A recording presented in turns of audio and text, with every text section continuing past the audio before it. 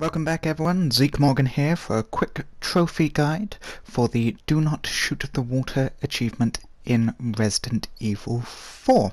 So it's one of the very rare uh, trophies that you are more than likely bound to miss on your first playthrough, but following this quick guide you should get it with no problem there. This is achieved during the chapter 1-3 where you're uh, going to go up to the lake and defeat Del Lago. Uh, what you want to do is if you have got to the point, create a new save file because it will count as a death for you.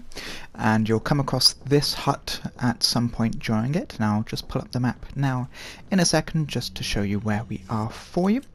As we said, it's the first time that you come across the lake and you have to do this before you actually go into the boss fight. But it's really simple. All that you need to do is just run up to the end of the pier, by the boat, aim and shoot into the water with whatever gun that you want. Uh, within a couple of shots there, Del Lago will come and eat you, and there you have it, the achievement will be yours.